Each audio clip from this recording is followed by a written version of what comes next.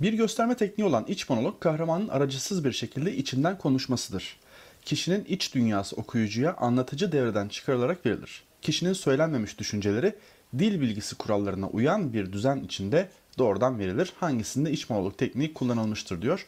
Yani iç monolog tekniğinde şunu bilmemiz gerekiyor arkadaşlar. Kahraman bakış açısının olması, e, kendi kendine konuşma, sözcükler ve cümleler, arası, cümleler arasında e, bir düzen, bir mantık, yani mantıklı bir cümle kurgusunun olması gerekmektedir. Bu teknik sayesinde karakterin iç dünyası okuyucu tarafından anlaşılabilmektedir. İç monolog tekniği böyle bir teknik. Yani bizim arayacağımız e, parça böyle bir parça olmalı. Şimdi bakalım teker teker. Yavaş yavaş merdivenleri indi. Orta kata gelince müdürün odası gözüne ilişti. Şakir Bey'i bir kere görmek fena olmaz diye düşündü. Düşündü. İşte gözüne ilişti, merdivenleri indi. Kocası hakkında ondan pekala pekala malumat alabilirdi. Bakın düşünceleri görebiliyor. Üçüncü bir kişi gözüyle yani dışarıdan bir anlatım durumu söz konusu. Yani kahraman bakış açısı yok. Burada hakim bakış açısının var olduğunu görmekteyiz. B'ye bakalım. Param var, nüfus cüzdanım yanımda değil. Bakın yanımda değil diyor. Mesela burada birinci tekil kişinin konuştuğunu yani kahraman bakış açısıyla parçanın e, kurgulandığını görmekteyiz ki iç monolog tekniğinde kahraman bakış açısının olduğunu e, az evvel söylemiştim. Devam edelim. E, baştan şöyle param var, nüfus cüzdanım yanımda değil. O gerekli sanırım. Adama sarı kumluyum da diyemem. Evine gitseydin der. İnanmaz da kapının sürgülenmesi hikayesine. Kuşkulanır. İnsansa bile, inansa bile her türlü otelin önünden geçemem bir daha. En iyisi açıkça yanıma almadım demek. Balığa çıktım derim demiş. Yani baktığımız zaman aslında burada e, bilinç akışı tekniğinin özellikle ön planda olduğunu görüyoruz. Peki bilinç akışı tekniği ile iç monolog tekniği arasındaki fark nedir? Biz e, bu iç monolog tekniğinde kendi kendine konuşma gibi durumların var olduğunu söylemiştik. Ee, iç monologda kahraman mantıklı ve düzenli cümlelerle aktarım gerçekleştirir demiştik. Fakat bilinç akışında daha çok e, yine kendi kendine konuşma durumu vardır fakat cümleler arasında mantıksal ilişki zayıftır. İç monologda mantıksal, düzenli, düzgün cümlelerin var olduğunu e, söylüyoruz, biliyoruz. Fakat bu bilinç akış tekniğine uygun bir e, parça olduğu için iç monolog tekniğinden ayrılmaktadır. C'ye bakalım. Seneler var ki kuşlar gelmiyor. Daha doğrusu ben göremiyorum. Güzün güzel günlerini pencereden görür görmez Konstantin Efendi'nin bulunabileceği sırtları hesaplayarak yollara çıkıyorum. Bir kuş cıvıltısı duysam kanım donuyor, yüreğim atmıyor. Birinci tekili ağızdan anlatıldığı için kahraman bakış açısının bu parçada var olduğunu görmekteyiz. Kendi kendine konuşma var. Herhangi bir diyalog durumu söz konusu değil. Kişinin kendisiyle bir e, monolog halinde olduğunu söyleyebiliriz. Sözcükler ve cümleler arasında bir mantık da görüldüğü için biz iç monolog tekniğinin bu parçada var olduğunu söyleyebiliriz. Doğru cevabımız C seçeneği olmalıdır. Diğerlerine de bakalım. Cevap vermeden yürüdü. Olduğu yerde bir müddet kaldı. Olan bitenden bir şey anlamış değildi. Değildi, yürüdü, kaldı. Şaşkın şaşkın gülümsemeye çalışıyor fakat beceremiyordu. Bu hattı zatında çok gülünç hadisenin muhakkak ki adam akıllı ciddi tarafları vardı. Yani burada zaten kahraman bakış açısının olmadığını görmekteyiz. Bunu da eledik. Bundan sonra sizinle görüşmeyeceğim, size çok dargınım dedi. Afalladım ve sordum ne oldu yahu diye. Siz gayet iyi bilirsiniz dedi. Vallahi bir şeyin farkında değilim diye yanıtladı. Bir diyalog var. Kendi kendine konuşma durumu yok. O yüzden bunu da eledik. Tekrar söylüyorum. İç monolog tekniğinin kullanılmış olduğu parça C seçeneğinde yer alan parçadır. Bu parçadaki boşluklara sırasıyla aşağıdakilerden hangisi getirilmelidir demiş soru kökümüz. Bakalım. Nokta nokta mekan, kurum veya kişi hakkında araştırma yapılan muhabir yazısı veya yazı dizisidir. Ruşen Eşref Ünaydın, Yaşar Kemal, Firuzan gibi sanatçılar bu türde yazmışlardır. Bu tür sorulu cevaplı nesnellik isteyen nokta nokta türüyle karıştırılmamalı. Nesnellik istemesi diğerinin daha öznel olması ile biz buradaki boşluklara e, röportaj ve mülakat şöyle yazalım röportaj ve mülakat kavramlarını sırasıyla getirmeliyiz arkadaşlar. Röportaj yazarın okuyucularına bir konuyu inandırmak için kişi, eşya, eser ya da bir yerle ilgili e, yapmış olduğu incelemeleri fotoğraflarla süsleyerek kendi görüşlerini de katarak diyoruz burada bakın kendi görüşlerini katması öznellik olması yani subjektif olması ile alakalıdır. Kendi görüşlerini katarak yazmış olduğu gazete ve dergi yazılarıdır. Mülakat ise bir gazetecinin toplumdaki önemli kişileri ziyaret etmesi, bu ziyaret sırasında o kişilere genellikle gündemde olan önemli bir konuyla ilgili sorular sorması ve bu soruları aldığı cevapları gazetesinde yazması sonucu oluşan yazılardır. Tekrar söylüyorum. Röportaj öznel bir yazılardır. Mülakat ise nesnellik isteyen yazılardır. Doğru cevabımız Denizli seçeneği olmalıdır. Bu örnek parça için 1, 2, 3, 4 yargılarından hangisi yanlıştır diyor. Bakalım. Efendiler, zavallı ulusumuzu tutsak etmek isteyen düşmanları kesinlikle yeneceğimize olan inanç ve güvenim bir dakika olsun sarsılmamıştır. Bu dakikada bu tam inancımı yüce kurulunuza, bütün ulusa ve bütün dünyaya karşı ilan ederim. Nutuktur arkadaşlar. Yani diğer adıyla söylev türüne aittir buradaki parça. Ee, bakalım madde üzerinden gidelim. Bir, düşünceleri ispatlamaya yönelik oldu. Düşünceleri ispatlamaya yönelik değildir nutuklar. İspat nedir? Bir şeyin doğruluğunu kanıt, delil göstererek ortaya koymaktır. Nutukta e, biz genel itibariyle daha çok dinleyenleri bir düşünceyi aşılamak ve onları harekete geçirmek amacıyla coşkulu ve e, heyecanlı bir üslup kullanılarak gerçekleştirildiğini Nut'un söylevin bu şekilde gerçekleştiğini e, biliyoruz. Ama herhangi bir düşünceyi ispatlama gayesinin olduğunu söyleyemiyoruz söylevlerde. Yani burası yanlış. Bakalım ikiye. Duygu ve düşüncelerin aşılanmasının amaçlandığı doğrudur. Coşkun bir söyleme başvurulduğu doğrudur. Bir sözlü anlatım türünden alındı ki bir sözlü anlatım türlerinden bir tanesidir söylev, hitabet ya da diğer ismiyle nutuk. 2, 3, 4 doğru, 1 yanlış. Yani doğru cevabımız A seçeneği olmalıdır. Bu işlem basamakları aşağıdaki türlerden hangisine aittir? Bakalım konu ve görüşülecek kişi belirlenir. Buna ilişkin araştırma yapılır. Sorulacak sorular titizlikle hazırlanır. Muhataptan randevu alınır. Görüşme gerçekleştirilir ve kaydedilir. Yazıya aktarma ve düzenleme yapılır. Görsel tasarımdan sonra metin paylaşılır. Mülakatın e, hazırlık aşamalarıdır arkadaşlar bunlar. Mülakat soru cevap esasına e, dayanan bir türdür. Amacı okuyucuya bilgi vermek olan bu türde sade, açık bir dil seçilir. Mülakat yapılacak kişinin alanına hakim ve tanınır olması da önemlidir. Bir başka özellik olarak da mülakatın nesnel olması gerektiğini söylemiş olayım. Soruyu tamamlamadan önce diğer seçeneklere de bakalım. Röportaj bir gazete yazarının ünlü tanınmış kişiler, yerler ve olaylarla ilgili inceleme ve araştırmalarına kendi görüşlerini de ekleyerek ve fotoğraflarla belge, belgeleyerek e, oluşturduğu yazı türüdür. Sunuma baktığımızda bir konu hakkında yapılan hazırlıklı konuşmadır. Sunumda çalışma ve anket sonuçları açıklanır ve dinleyenler soru sorabilir.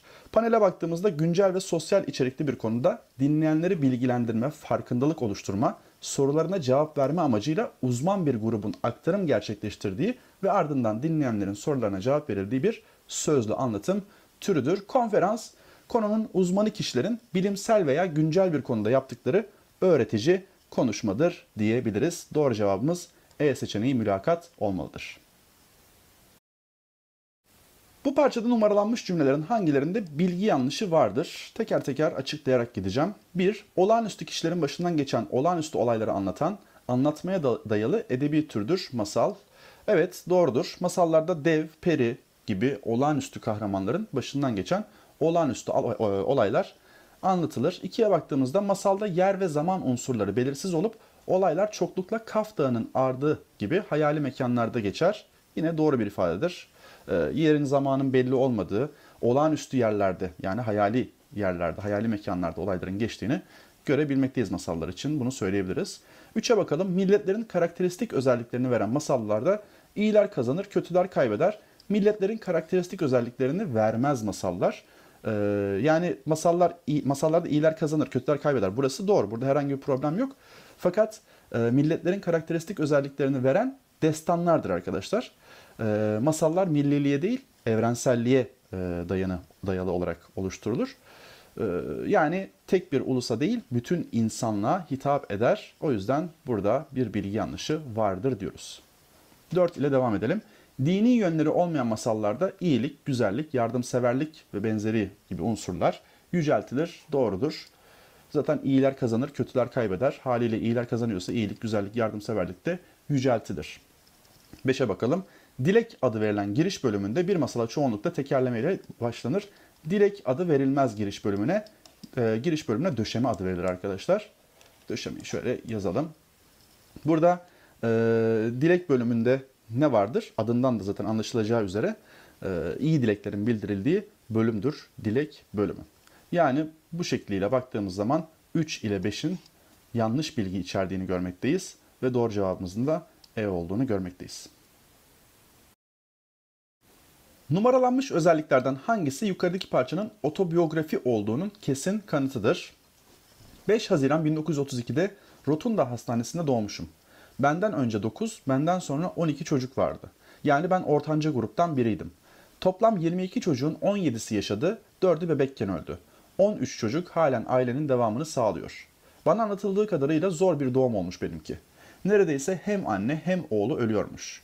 Akrabalardan oluşan bir ordu kapının önüne dizilmiş, sabahın ilk saatlerine kadar haber beklemiş ve her şeyin yolunda gitmesi için dua etmişler. Bir, anlatıcının birinci kişi olması, anlatımın rivayetlere dayanması, hafızaya ve anıya dayalı olması, yazarın kendi yaşamını türe dönüştürmesi. Baktığımızda buradaki dört özellikte parça için doğrudur. Yani otobiyografinin özelliklerinden bir tanesidir. Fakat kesin kanıt olacak tek yargı 4 numaradaki yazarın kendi yaşamını türe dönüştürmesi yargısıdır. Neticesinde otobiyografi dediğimiz tür kişinin kendi yaşamını anlattığı yazılardır arkadaşlar.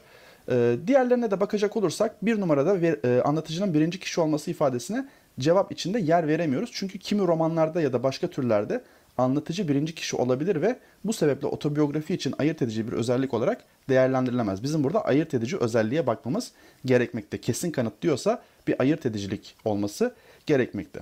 Yani bir numara ayırt edici özellik e, teşkil etmez otobiyografi için.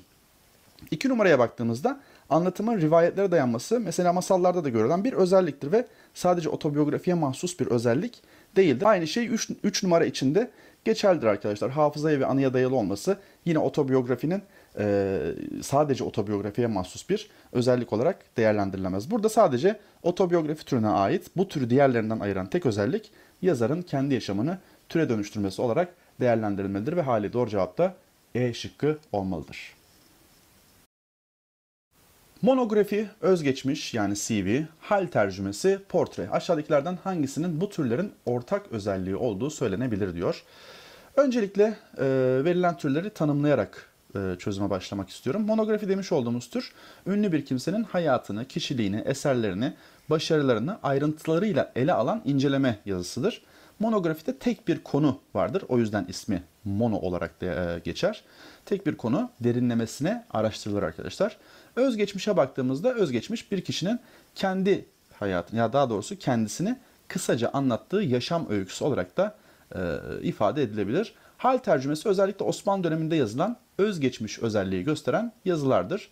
Portre bir kimseyi karakteristik özellikleriyle okuyucuya tanıtmak amacıyla yazılan edebi yazılardır. Sonuç olarak baktığımızda hepsinin birleştiği nokta bir kişinin yaşam öyküsünü içeren eserler olmasıdır. Bu da bizi biyografi ve otobiyografi türleriyle benzerlik göstermeleri seçeneğine götürmektedir. Doğru cevabımız A seçeneği olmalıdır. Yukarıda birinci grupta verilen ifadelerden hangisi ikinci grupta verilen sözlü anlatım türlerinden biriyle eşleştirilemez diyor. Galip gelme teker teker eşleştirerek gidelim arkadaşlar. Galip gelme münazara ile ilişkilidir. Münazarada tez, antitez vardır ve sonunda da bir grup yani tez ya da antitez grubundan bir tanesi kazanır, galip gelir. Bilgi şöleni ile sempozyumu eşleştirebiliriz. Bilim insanlarının bir araya gelmiş ol, gelerek e, seri konuşmalar yapmaları olarak da tanımlanabilir sempozyum. Ateşli konuşma söylev burada hemen. Kalabalığa, coşku ve heyecana dayalı ateşli konuşmalardır söylevler. Aktif dinleyicili panel ise forumdur arkadaşlar. E, panel demiş olduğumuz dinleyicilerin konuşmacılara sadece soru yönelttiği e, konuyla ilgili konuşma yapmamış oldukları yani pasif oldukları bir tür olarak değerlendirilebilir. Fakat dinleyen potansiyel bir konuşmacı durumuna gelirse görüş ve düşüncelerini, yorumlarını aktarma olanakları bulabilirlerse e, yani aktif hale gelebilirlerse bu foruma dönüşür arkadaşlar. Ters piramit tekniği ise nedir? Haber yazma tekniklerinden biridir ve ikinci grupta verilenlerden herhangi biriyle alakası yoktur. Haliyle doğru cevabımız E seçeneği olmalıdır. Bu iki parça ile ilgili 1, 2, 3 yargılarından hangileri söylenebilir? Bakalım parçalara. Birinci metin. Babaannem kurs sürülerine dair bir şeyler sordu. Arabacı arkasına bakmadan cevaplar verdi. Geçen de iki atlıyı atından alıp parçalamışlar. Sonra öksürdü. Babaannem titreyen sesiyle bir duayı hızlı hızlı okuduktan sonra anneme seslendi. İkinci parçaya bakalım. Genç ve çılgın maymune tüm ruh yüceliğinden yoksundu gerçekte. Ama babasının aksine göğsü merhamet, yüreği iyilikle doluydu. Ve de bakın ona. Elinde meşale olmadan yola çıkmaz. Böylece yürürken sokağın çamurundan, yolların tozundan ve tehlikeli kaymalara, kaymalardan sakınırdı. Şimdi baktığımızda yargılara birincisi aynı anlatım tekniğiyle yazılmaları diyor. İki parça içinde söylenebilir bir yargıdır. Her iki parçada da okuyucuya bir olay içinde yaşatma, bir olay içinde okuyucuyu yaşatma amacı vardır. Olayların birbiri üzerine geliştiği bu metinlerdeki anlatım tekniğine öyküleyici anlatım denilir arkadaşlar. Onu da şuraya öyküleyici olarak yazayım. Bunu yuvarlığa aldık. İkiye baktığımızda olaya dayalı metin türünden alınmaları bu da doğrudur. Ee, iki parçanın da anlatmaya dayalı metinlerden olduğunu görmekteyiz. Anlatmaya dayalı metinler olay çevresinde gelişirler ve haliyle bunu da doğru bir hale getirmektedir bu durum. Üçe baktığımızda ortak bakış açılarına sahip olmaları diyor. İlk metinde birinci tekil kişi ağzından olayların anlatıldığı görülmektedir ki bu anlatıcının kahramanlardan biri olduğunu gösterir. Bu sebeple birinci metin kahraman bakış açısına sahiptir. İkinci metne baktığımızda olayı üçüncü kişinin anlattığını ve anlatıcının olaydaki kahramanların duygularına ve düşüncelerine hakim olduğunu görüyoruz. Bu da hakim bakış açısına sahip olduğunu yani tanrısal bakış açısına sahip olduğunu göstermektedir. Yani metinler ortak bakış açılarına sahip değillerdir. Bu yanlış bir ifadedir. 1-2 söylenebilir. O da nerede? A seçeneğinde doğru cevap A seçeneği olmalıdır. Numaralanmış türlerden hangisi olayı dile getirmek bakımından diğerlerinden farklılık gösterir? Olayı dile getiren metinler arkadaşlar anlatmaya, şöyle yazayım anlatmaya ve göstermeye bağlı metinler olarak ikiye ayrılmaktadır. Fable, destan, öykü ve mesnevi. Fable, destan, öykü, mesnevi anlatmaya bağlı edebi metinler iken tiyatro göstermeye bağlı göstermeye bağlı metinlerdendir ve bu sebeple doğru cevabımız C seçeneği olmalıdır. Bu parçadaki boşluğa aşağıdakilerden hangisi getirilmelidir? Anlatmaya dayalı metinlerde kişiyi olumlu ve olumsuz alışkanlıklarıyla, davranışlarıyla, her türlü yönüyle işlemektir nokta nokta. Başka kişilere benzeyip ortak davranışlar gösterse de bunları yansıtan duygu ve tepkileri ile diğer kişilerden ayrılır. Kiralık Konak romanındaki Hakkı Celis, romanın başında melankoliktir ve devlet toplum sorunlarından uzaktır. Ancak milli mücadele başlayınca kendini millete adayan bir savaşçıya dönüşür. Burada doğru cevabımız karakter olacak arkadaşlar. Boşluğa gelmesi gereken ifade karakterdir. Karakter olay, e, anlatmaya bağlı metinlerde toplumsal bir tabakayı değil de sadece kendini temsil eden kahram, e, kahraman olarak karşımıza çıkar. Karakter anlatım metinlerinde kendi iç dünyası, şahsiyeti, başkalarına benzemeyen yüzü ile görülür. E, karakter başka kahramanlarla benzer davranışlar gösterse de bunları dışa vuran duyguları, tepkileri, sözleri ile diğer kahramanlardan ayrılır. Bu noktada karakter ile tip arasındaki farka değinmek istiyorum. Tip ile karakterin en önemli farkı temsil gücünde görülür. Çünkü tip toplumsal boyutu ile karşımıza çıkar ve ait olduğu sosyal durum, olay ve olgu onun üzerinden işlenir. Oysa karakter birey olarak ele alınır. Çelişkileri, acıları, mutlulukları, çıkmazları sadece kendisine aittir ve kendisiyle sınırlandırılmıştır diyebiliriz. Tekrar söylüyorum doğru cevabımız B seçeneği karakter olmalıdır.